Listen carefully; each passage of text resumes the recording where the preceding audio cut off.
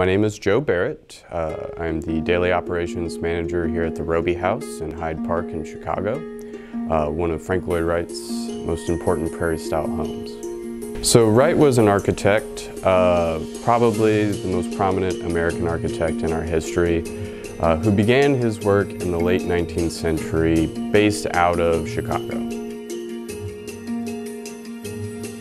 Frederick C. Robie was a businessman who worked for his father at a company called Excelsior. From there, he earned his wealth, and it was at one point they decided to expand their home situation. So, Mr. Robie had some ideas about how he wanted his home to be.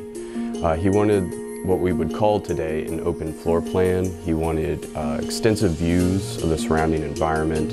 But he also wanted a sense of privacy and security, which in an urban environment is a little hard to achieve. Uh, he was put in touch with Frank Lloyd Wright by uh, friends and associates who felt that his design plan or idea would be most realized by Wright's architecture.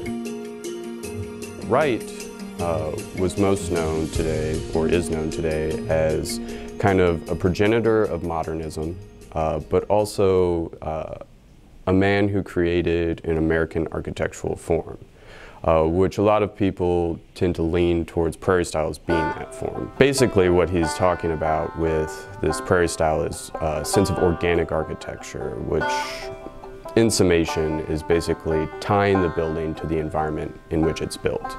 And being in the prairie of the Midwest, uh, it lends itself to long, flat, horizontal planes, uh, pared down ornamentation, uh, simplicity and unity in design.